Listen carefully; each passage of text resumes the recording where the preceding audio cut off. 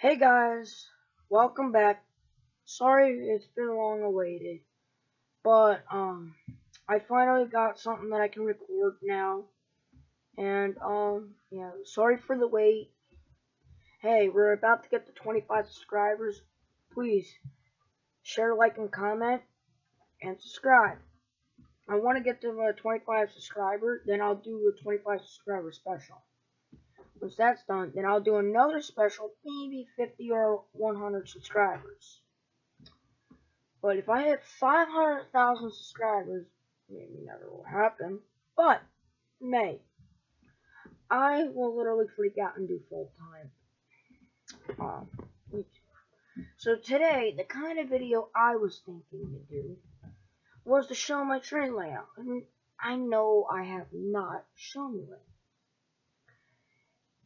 Mm, yeah, I know. But I haven't shown it to you. So, it's fair enough to show it to you, and I'll be showing you a product I got from a hobby shop. I, yeah, it was like $3.95, so practically $4 because it was taxed. I, I wasn't in Delaware when I bought it. So, that's that. And, so yeah. Hope you guys enjoy. Like I said, like, comment, and subscribe and share it to all your friends and all. Now I would love to see everybody comment because I'm trying, I'm trying to grow. So, without further ado, here we go. So, as you can see, um, this is practically my layout. Pretty big, it's messy, but it's a start. I just have it to the point where I can like go around it. Now I was able to have like I have an Amtrak GG1, but uh, I was able to go around it at full speed with the Amtrak GG1 due to that all the tracks were nailed down. Now there is one curve I was because I needed to repair one of the nails. One of the tracks broke when I was going around the, with the Amtrak GG1. And what happened was, um, going around, and the GG1 went on its side. Okay, so here's my hand. It was going around like usual, like that. It would just go like that, like an embankment. And what happened is, this time, I don't know why, but it went so like on four wheels instead of eight. And what happened was, I guess from all the uh, thing, this decided to break, snap the tie, and now I have to. I replaced the track. I can still run on it, but now I have to put a speed restriction on it now. So, yeah, that's gonna be crazy. Um. So yeah, um, I will show you my GG1. Just hold on. Alright, so, it was coming around here, right? It's fine. That spot goes over the switch and everything like that. Then it comes up to right here. Right here. Look closely, you may be able to see it. Where is it? Sorry, it zoomed in so much. Like, it's this right here. Not enough lighting to have you see. But, right there. Snapped. And as I was coming around, I'll demonstrate with this caboose.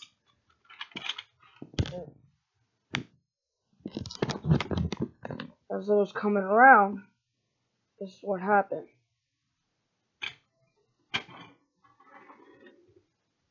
Right? The engine was fine. But at the same time, since I was going so fast, this here, you know, track went like this, one fell down, and that was like that. So it's no way of, it was like a real train wreck. Oh yeah, and about this, because I care about my engines, I did not want to have it fall off. fell down. And let me show you what happened to the GG1. This one, this here, that's getting repaired, I think. Oh no, I can run that if I want. That American one over there cannot be replaced. That one's under. Now, look. Here it is.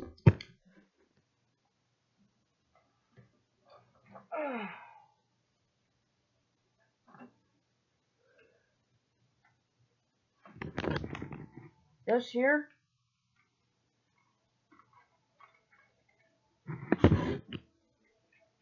Okay, so this here.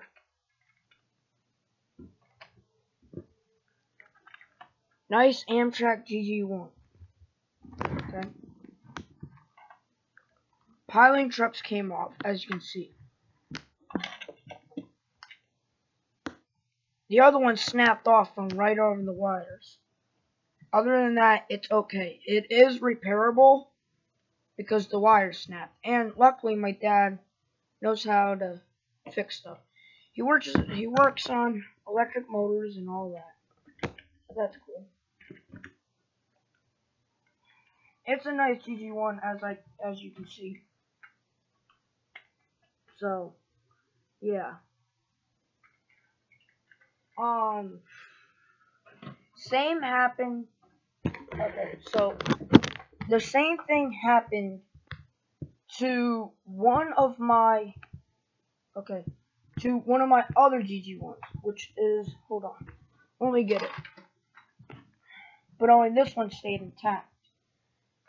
This is the American Railroad 1869 to 1969. this is a really nice engine. Same thing happened. Fell off the track, but luckily this one was able to stay intact. But the two piling trucks in the front to keep it weighed down and not to derail came off. They're still trying to find some parts. Let us know in the comments if you find anything. Because we are still trying to find some stuff. Because I think, yeah, they snap. We're just trying to find some parts.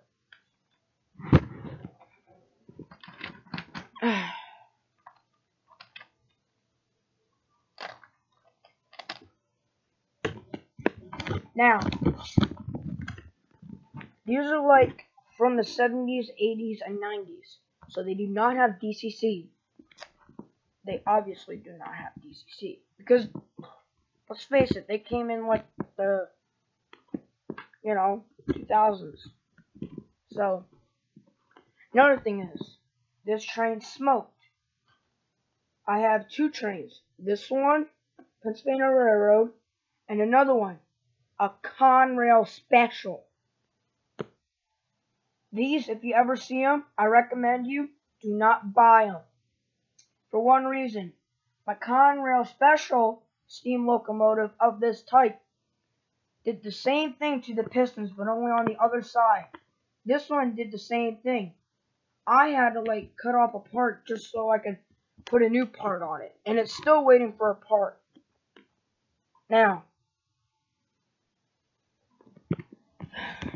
for now, it just sits there as it's either probably going to get scrapped or something like that. But other than that, yeah. I mean, the tender is lovely. It's nice.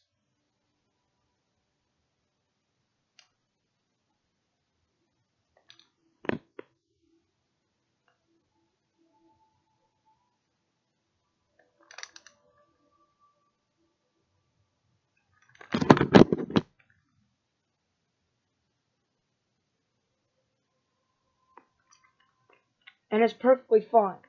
That's okay. Here, what I don't understand. This engine can pull all my cars, just like the big boy. Which, indeed, I have the big boy, but that is being repaired. And for whatever reason, this thing can pull anything. Anything. No matter how heavy it is.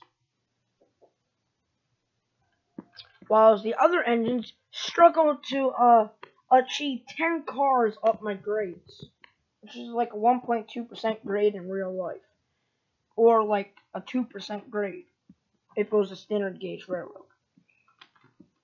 As you can see, if you look hard enough, you can find that it has grades.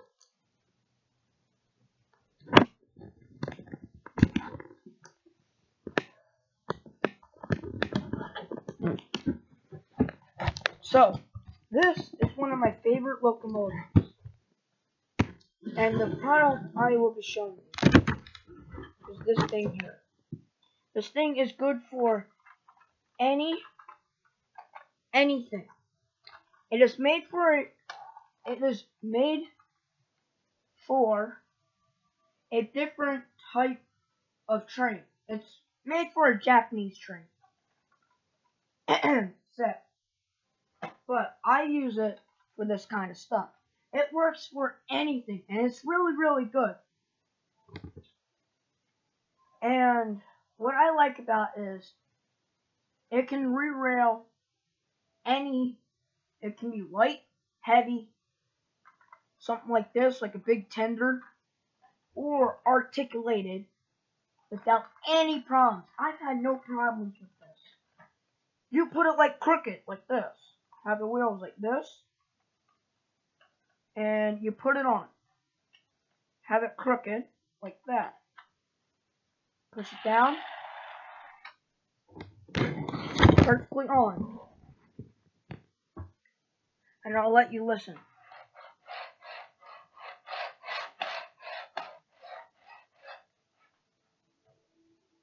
See? Perfectly good.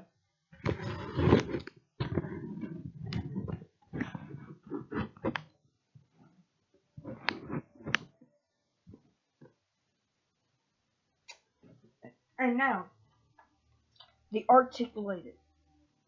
A 2, 4, 4, 2 articulated Pennsylvania Railroad steam locomotive.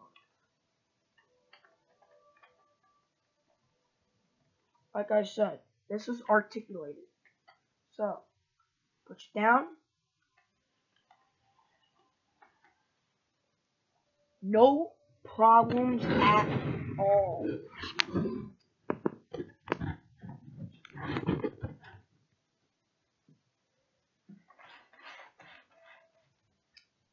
Pretty good. Now, here's another thing. I will say this. I will recommend it to you. But if you're poor, it's probably not for you. I'm joking, I'm joking, I'm joking. Um, it is only four bucks.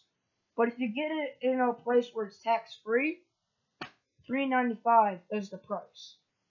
So that's pretty good. And wait a second. Oh, okay, okay. And now we can just watch the train.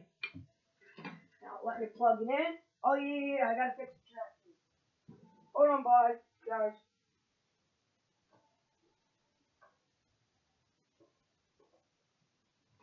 Hold on. Alright, I gotta, I'll pause the video right now. And now, to show you my train yard.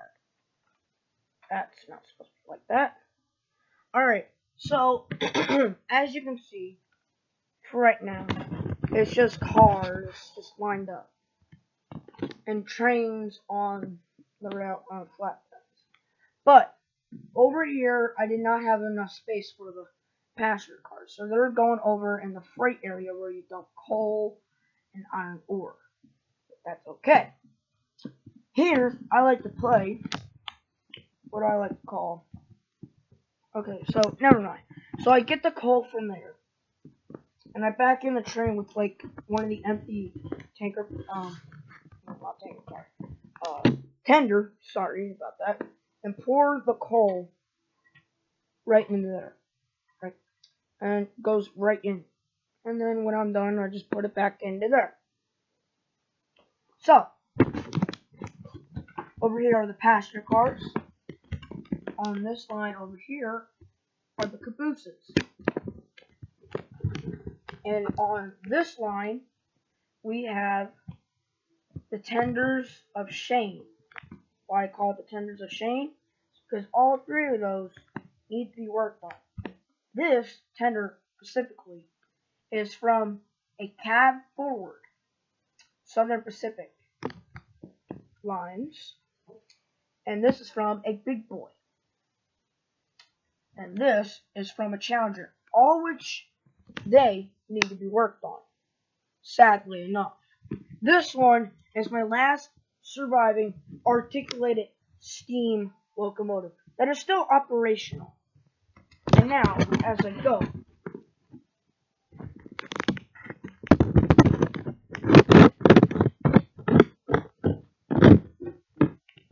and plug it in, I will now have the articulated steam locomotive.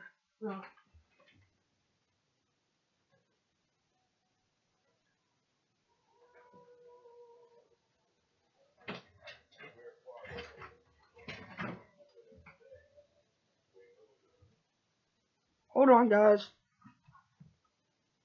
I gotta fix my controller. Alright, guys. We're getting on the road.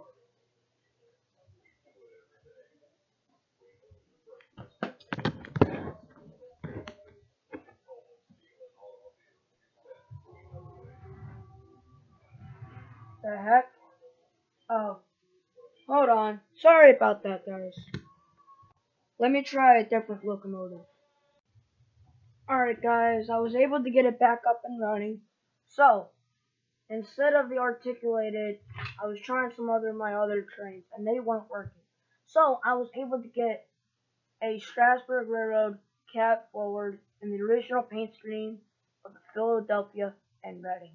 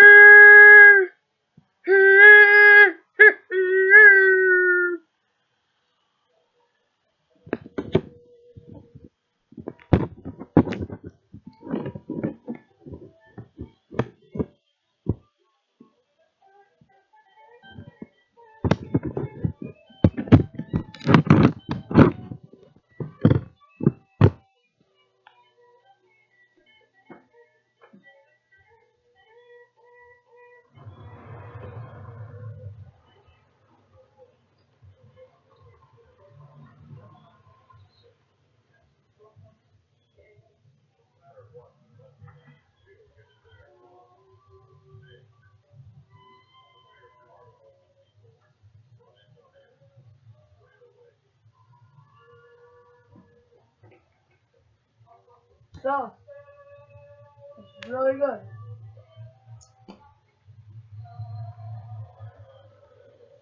Count on.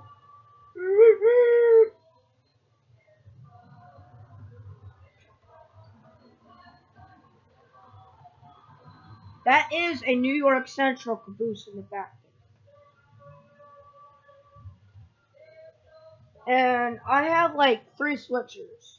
I have two that are Pennsylvania Railroad, and here is one of them.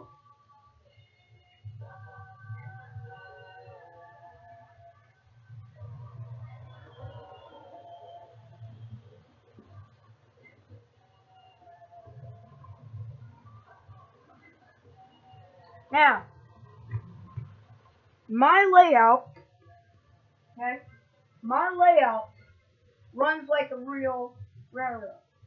And how, and what I mean is by that is, you can have good days when there's no derailments and everything's going the way you want to plan, there are bad days where you get so frustrated you don't even want to play.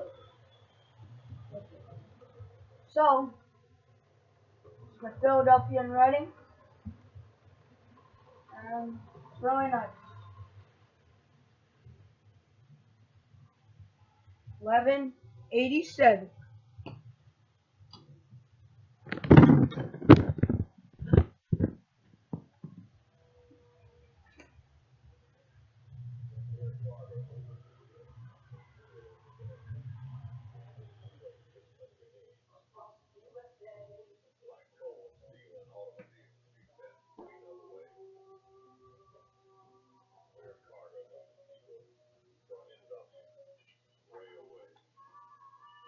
So, yep, this is my train.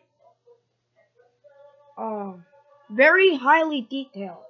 I love, even though that it's old, it's made back when then when things were supposed to last. Supposed to last.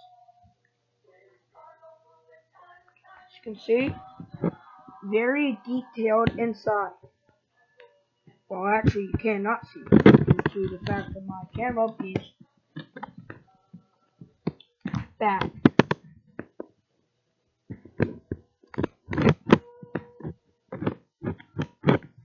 And it does have two working headlights. If it's going forward, this here will light up. If it's going backwards, this here will light up. And that will turn off. Going forward, on, off. Going backwards, on, off. So that's really cool. Many engines did that. So, it's really cool. Nope, that can't be not, that cannot be taken off. Okay. So, yeah, that's one of my trains. Alright. You're cleared at the port. Roger. Over and out. It's Philadelphia and Reading, 1187. Over. Roger that. You're clear.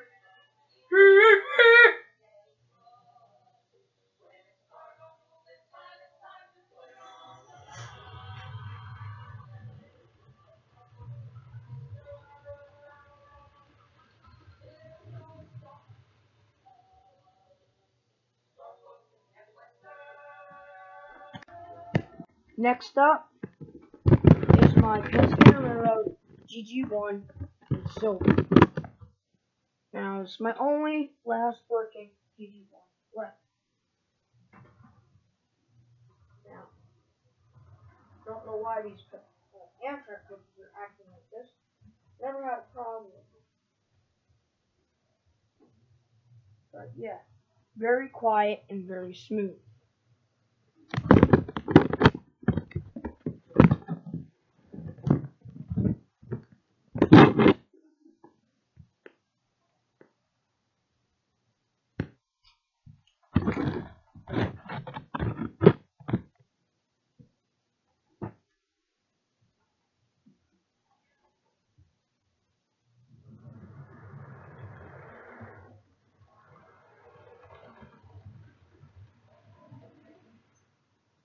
Runs very smooth. And this has been sitting for about mm, maybe six months. And it's not like all the other engines, where if it's been sitting for a while, you will have to not let any cars, unless like I did, because I'm very experienced, put no cars on it and let it run around for a few times until it's loosened up. This one, you don't have to do that. And that's what I like. And these this train engine specifically can go really fast. Now we'll demonstrate it on that one curve. If at least these Amtrak cars will stop derailing on the freaking switches and they will cooperate with me.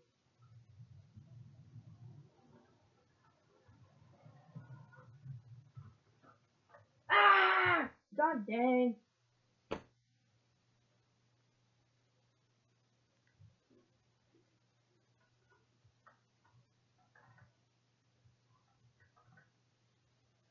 Alright, hold on, guys. Alright, so.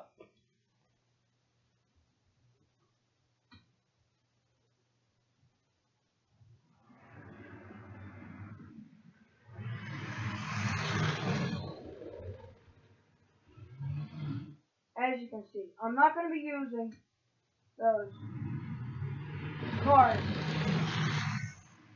due to the way that it's acting like that. And it slows down pretty good.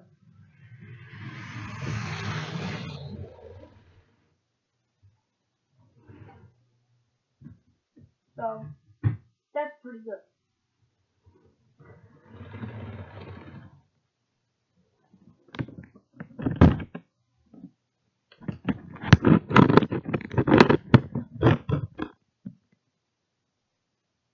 Now, as I try and fit it in the frame, oh, good. Now, one of the things I like that you can do is, you see this up here? Those are not for show. You can literally put power lines above them. Have this come up and can get electric from it. That's one thing. Me and my dad are thinking about doing that. And then it would get electric. See? From that.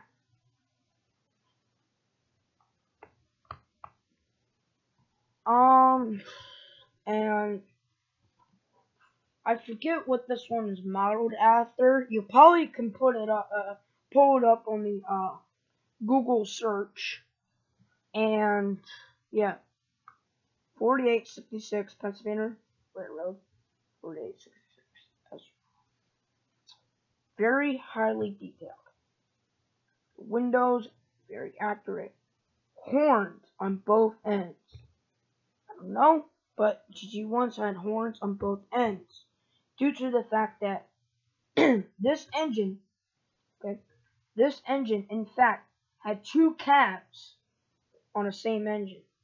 Because I can see, you can see here. That's one. Now, if you want to switch to another cab, he'd have to get down, walk over, and get into there. That was some engineers, that was one of the engineers' things that they did not like about the GG1s. Now, we'll say this, it's a really nice engine. Now, this is all my Pop Pops um, stuff. He is no longer with us, but gave this all to me, all up to me. So, I will hope you guys enjoyed, and I'll see you guys next time. Bye.